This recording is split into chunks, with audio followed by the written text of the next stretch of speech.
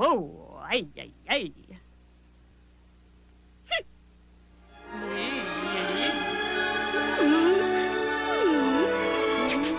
Clarets, now in new Mini Mints.